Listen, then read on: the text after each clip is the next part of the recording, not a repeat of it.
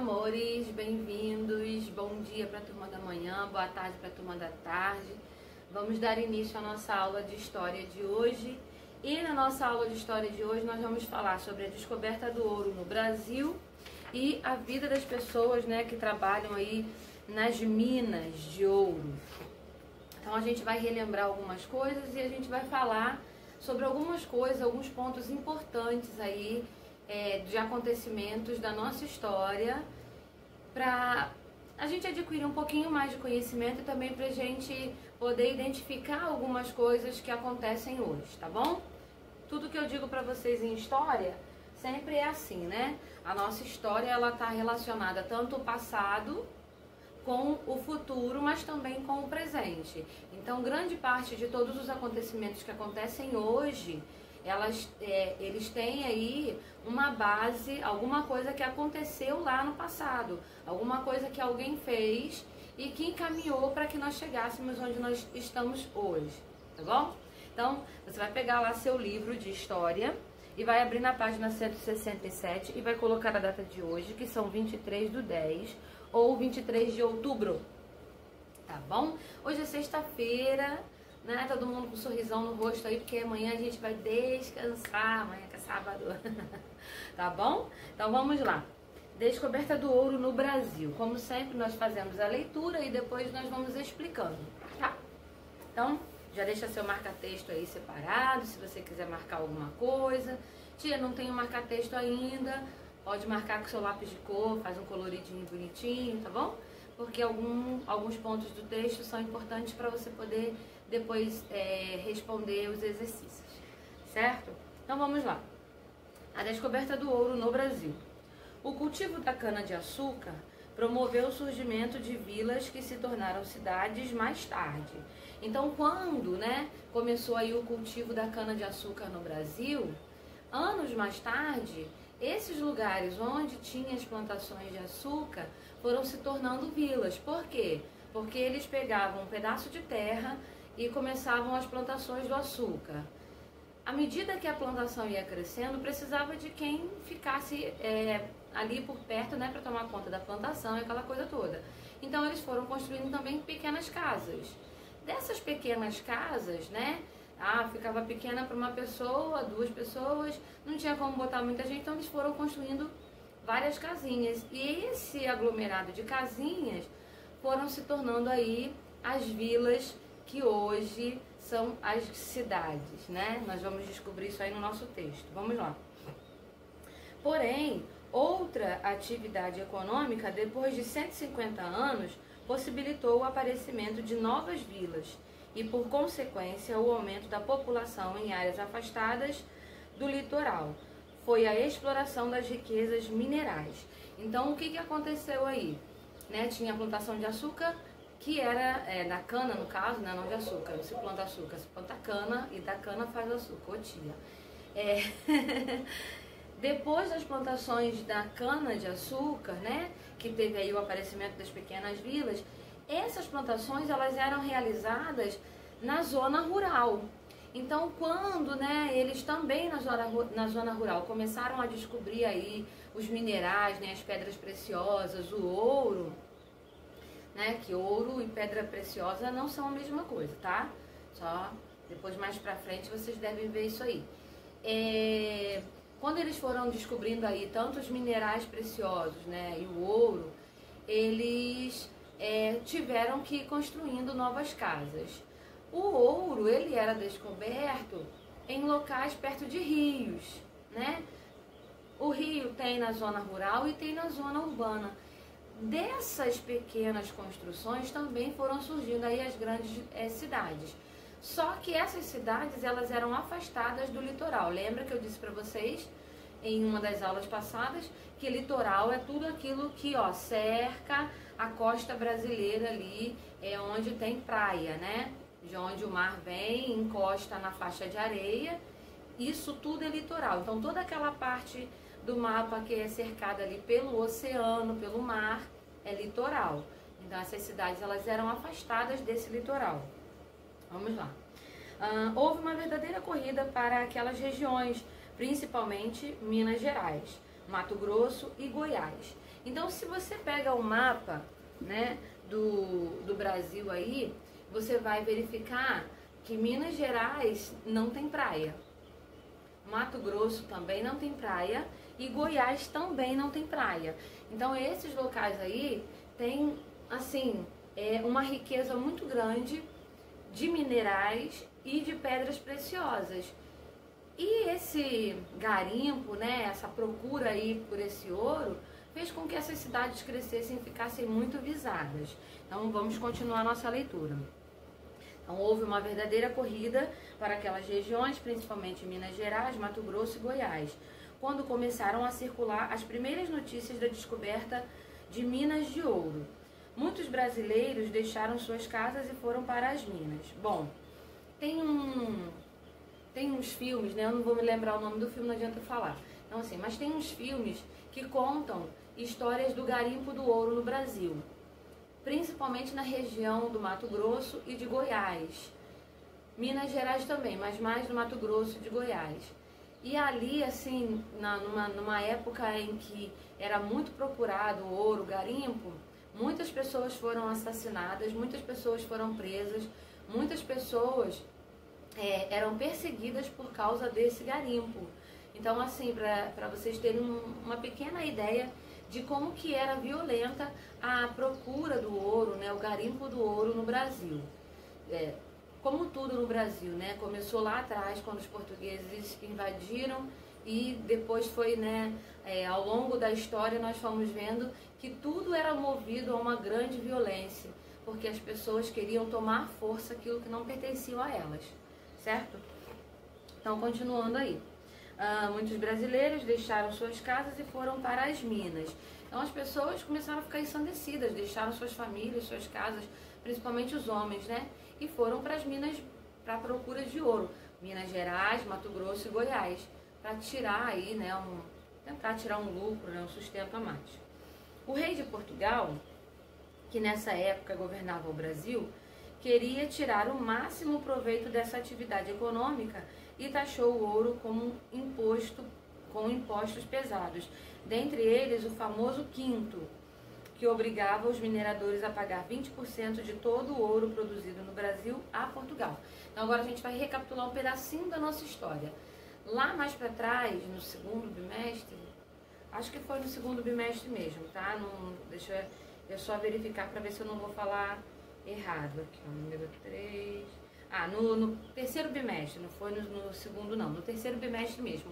Nós falamos aí o ciclo do ouro, né? No segundo bimestre nós falamos pouquinho também, mas no terceiro nós falamos mais aprofundado. Nós falamos um pouquinho do ciclo do ouro.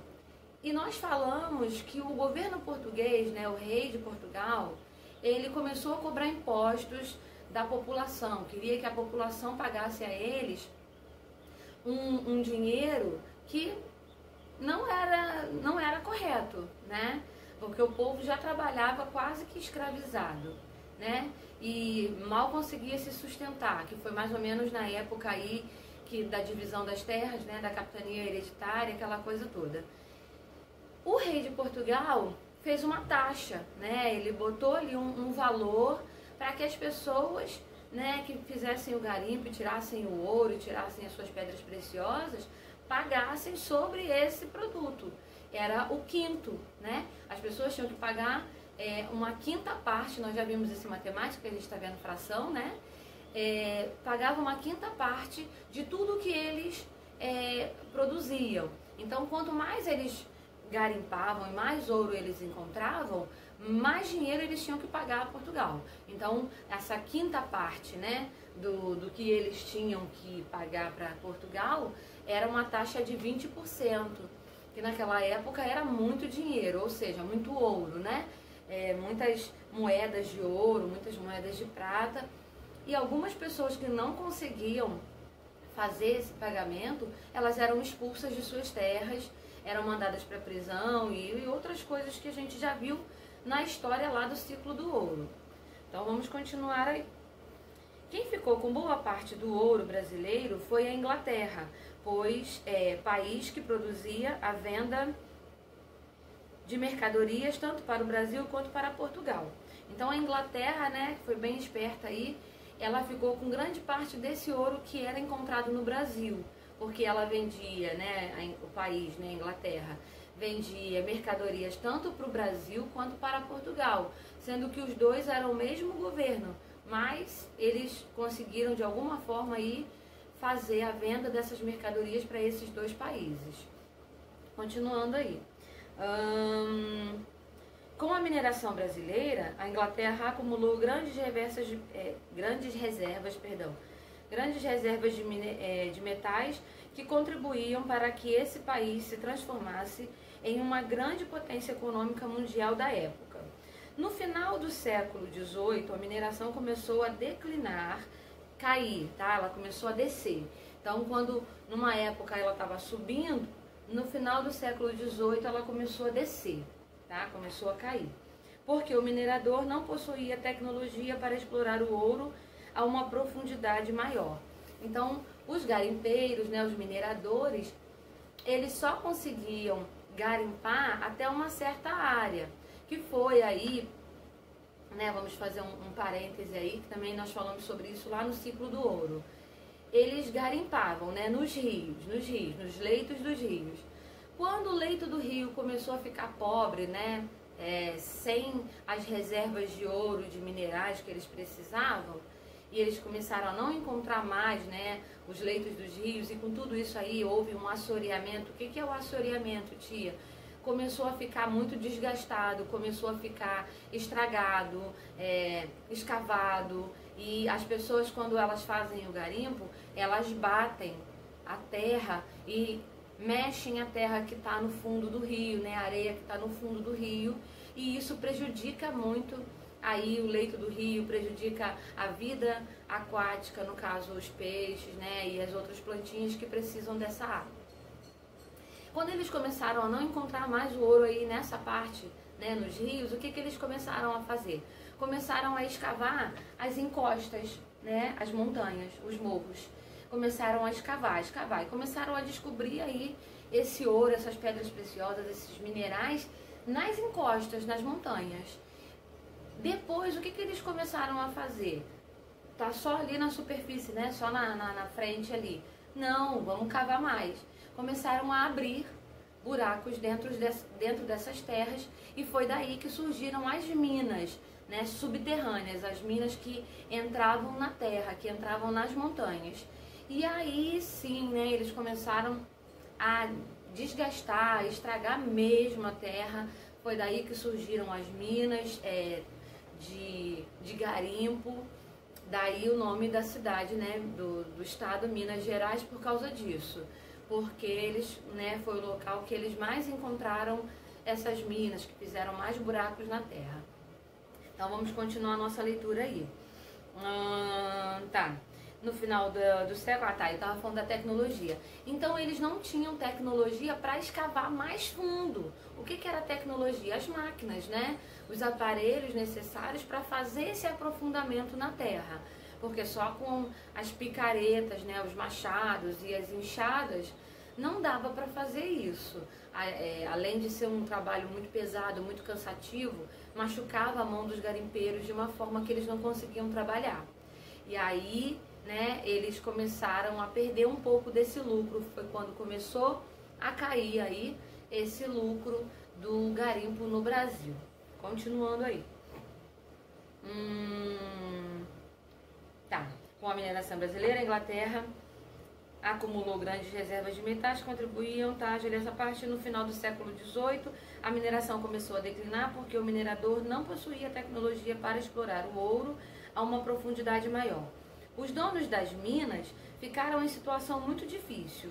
O Brasil ainda tinha isso, né? Porque os locais onde tinha as minas, né, onde tinha o garimpo, tinha dono.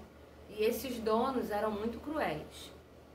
Uh, o Brasil deveria pagar a Portugal um imposto fixo anualmente. Caso isso não acontecesse, haveria a derrama, que era a cobrança de impostos atrasados. Então eu quero que vocês marquem aí agora, o primeiro que vocês vão marcar é esse aí os donos das minas ficaram em situação difícil, nananã. Caso isso não acontecesse, haveria a derrama, que era a cobrança dos impostos atrasados. Tá? A derrama, assim, era uma prática muito, muito, muito é, complicada. Nós vamos ver aí agora o que, que era e como acontecia essa derrama. Vamos lá. É, deixa só isso. Vamos lá. Hum, essa medida tomada por, por, por, por Portugal, perdão, provocou grande descontentamento entre os mineiros e gerou várias revoltas, dentre as quais se destaca a Inconfidência Mineira. Então, com a derrama, né, ela é, começou aí a gerar entre as pessoas um descontentamento. O que, que era esse descontentamento, tia? As pessoas começaram a ficar revoltosas né, com aquilo. Olha, é, o, o, governo está sendo cruel, está querendo cobrar da gente uma coisa que a gente não tem como pagar, não sei o que, não sei o que. E, né, eu falei, a derrama ela era um ato muito estranho, muito cruel. Porque quando a pessoa não pagava, a pessoa era presa ou era né, assassinada e eram coisas que aconteciam tão escondido que pouco se falava. Então vamos lá. As pessoas sumiam do nada. Então aí fala assim, ó, essa medida tomada por Portugal provocou um grande descontentamento entre, entre os mineiros e gerou várias revoltas, dentre as quais se destaca a Inconfidência Mineira. Aí nós vamos lembrar lá da Inconfidência Mineira. O que, que era a Inconfidência Mineira? Foi uma das revoltas que nós estudamos aí, que deu aí o, o início né, de, de uma grande revolução no Brasil que fez com que as pessoas não quisessem mais é, pertencer a um governo, né, ser é, propriedade de alguém. Porque realmente não é certo você ser propriedade de alguém. Você nasceu para ser livre, você não nasceu para ser propriedade. E quando Portugal comandava, a população que morava no Brasil naquela época pertencia a Portugal. Tinha que obedecer, tinha que fazer. Quem não fizesse perdia suas terras, era colocado para fora, era dada a terra para outra pessoa. E eram umas coisas assim que aconteciam. Então, quando a Inconfidência Mineira aconteceu, né, que veio Tiradentes, teve aquela revolta toda, Tiradentes foi preso porque né, uma das pessoas que andavam junto com ele ali, com os outros inconfidentes, traiu eles e entregou eles para o governo português. Então Tiradentes foi preso, foi esquartejado e partes do seu corpo, né, foi deixada desde o Rio de Janeiro até Minas Gerais, é, exposto em postes pendurados para que as pessoas vissem e percebessem que quem era contra as leis de Portugal sofria certas retaliações. Então, a Inconfidência Mineira, né, que é uma história que a gente conhece muito e vocês ainda vão estudar muito isso, é, fala sobre isso, que eles não queriam mais pagar esses impostos a Portugal. E quando acontecia a derrama, ela era muito cruel e as pessoas não queriam mais sofrer isso. Então eles fizeram aí essa revolta que deu-se aí o nome de Inconfidência Mineira, porque foram os mineradores, juntamente com Tiradentes, que né, deram o início aí e encabecearam essa revolta. Então vamos para a página 168 do nosso livro. Ah, tá. Página 168 já é o exercício. Aí tem ali um mapa, né, que vocês vão precisar é, observar o mapa e pintar aí os estados em que se desenvolveram as atividades mineradoras. Não vai ficar difícil porque nesse mapa já tem os nomes dos estados, então fica mais fácil para vocês identificarem. Então vocês vão voltar no texto, vão fazer a leitura novamente e depois fazer o exercício, tá? Então daqui a pouco a gente vai corrigir os exercícios. Agora nós vamos pular lá para a página 170, que também é uma paginazinha só, nós vamos falar aí sobre a vida das pessoas nas áreas das minas. Deixa só eu conferir aqui se é só esse mesmo, para eu não ficar perdida. Ah,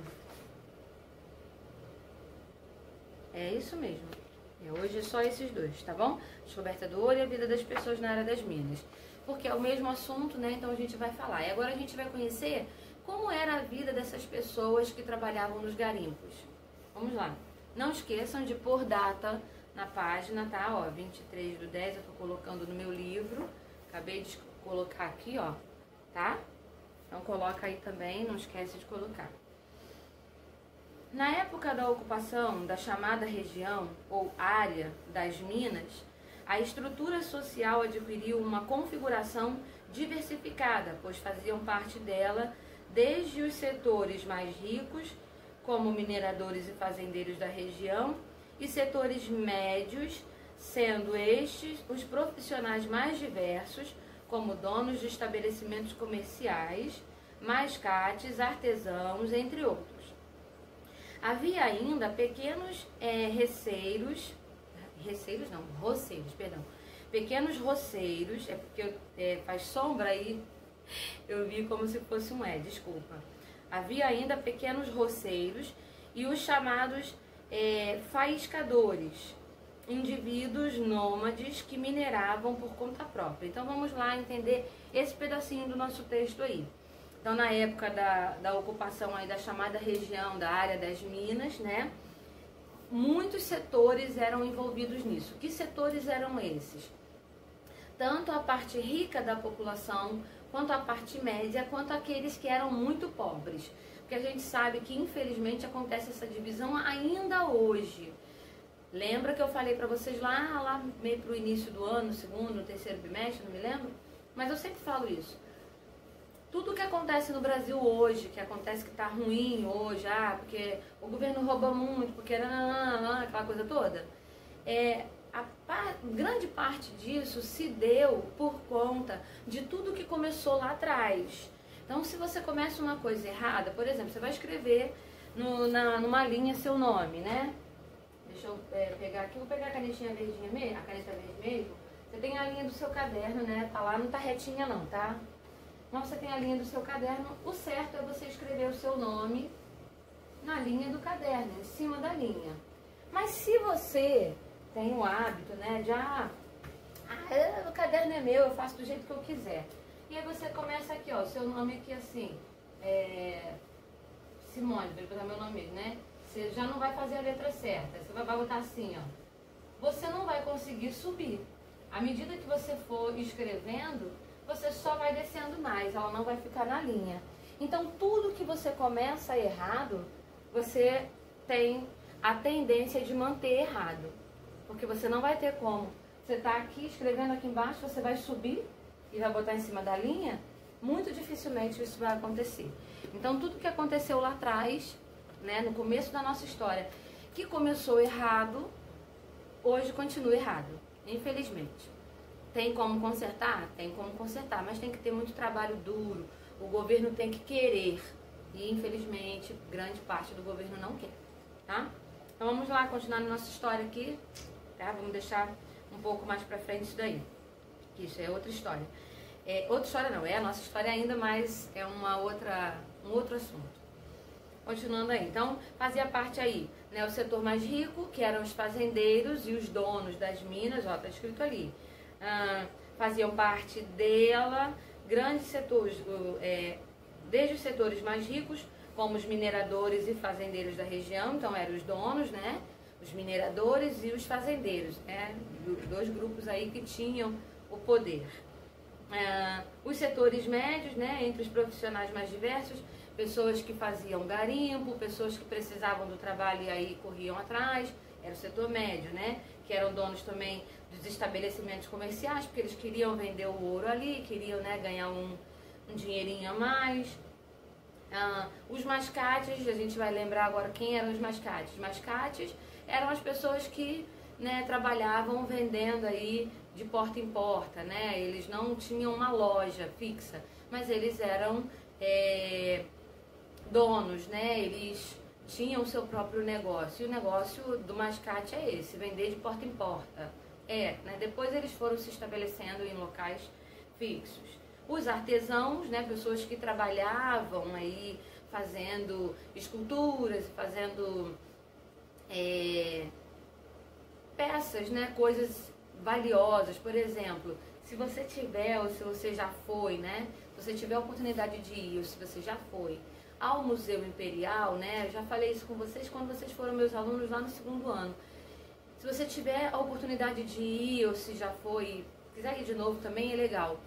Conhecer o Museu Imperial, você vai ver ali várias peças lindas. Que peças são essas? Pratos de porcelana, é, garfos, facas, talheres feitos de ouro maciço, os castiçais, né, que é onde ficavam as velas, né, segurando ali para fazer a iluminação é, os lustres, que eram feitos de cristal puro, e tudo isso é minério, tudo isso era feito do minério. Então, quando né, é, acontecia o, o garimpo, os artesãos eles precisavam aí também adquirir parte desse garimpo, porque eles precisavam para fazer suas peças que eram vendidas ou que muitas vezes também era dada para a coroa. Então, quando você entra, né, na no museu, em coisas, construções antigas, você vai ver muita coisa feita de ouro, de pedras muito preciosas, como rubi, diamante, é, ametista, que são pedras que são valiosíssimas, né? Que valem muito dinheiro. Então, tudo isso aí os artesãos precisavam também desse garimpo. Hum, e havia também os pequenos roceiros, né?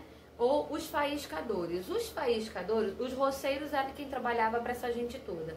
Os faiscadores eram aqueles que não trabalhavam para ninguém, mas eles garimpavam por conta própria. Os faiscadores eram as pessoas que mais sofriam retaliações, porque como eles não tinham um dono, quem né, mandasse que eles fizessem, aqueles, a quem eles tinham que prestar conta de alguma coisa, eles acabavam né, sofrendo alguma retaliação com relação a isso. Então, os, faisca, os faiscadores, perdão, eles sofriam um pouco mais do que os outros. Vamos voltar para o texto. Ah, por fim, havia na sociedade mineradora pessoas sem função definida, pobres, aí é abaixo do abaixo do abaixo do abaixo, né? Pobres que viviam na miséria pelas ruas da região das minas. Isso a gente está falando da vida das pessoas, né? Que viviam ali na região das minas. Existiam também os pobres, que hoje nós conhecemos como mendigo, tá? Que é a pessoa que fica na rua, o mendigo ele tá ali, tá mendigando, tá pedindo dinheiro, aquela coisa toda. Naquela época já existiam os mendigos, tá bom? Então, eles viviam na rua, eles eram os pobríssimos. É, vamos voltar, tá. O governo frequentemente usava essas pessoas à força na construção de prisões ou como oficiais da guarda privada de mineiros e fazendeiros mais ricos, geralmente a salários muito baixos. Então, o que, que eles faziam aí, o governo fazia?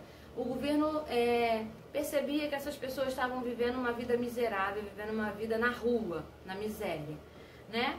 Então, eles chamavam eles lá, olha, eu vou te dar um prato de comida todo dia para você tomar conta dos mineradores. Se ele roubar o, o meu ouro, você corre e me avisa. Era basicamente isso que eles faziam. E aí essas pessoas acabavam, né, como eu disse, sofrendo muito, também muito, porque eles viviam, né, dando para aquele que já tinha muito o que ele não tinha, né? E ele acabava ficando sem. Então eles ganhavam salários muito baixos e trabalhavam aí para as pessoas, né, do governo para ou dos donos, né, dos garimpos. Continuando ali. Os habitantes da, da região eram, em sua maioria, mestiços, lembra dos mestiços, a mistura, né? Das raças, das cores, preto, branco, né? É, índio com branco, é, aquela coisa toda. Os mestiços, por conta da forma de habitação que ocorreu na região. Os bandeirantes ocuparam a área por meio de acordo com os indígenas, o que envolvia o casamento entre eles para firmar alianças futuras. Então vamos falar um pouquinho desse pedacinho aí. Lembra lá atrás quando eu falei para vocês, né, do dos bandeirantes, né, que aconteceu aí durante aquelas deixa, deixa eu ver aqui, deixa eu relembrar para não falar bobagem para vocês.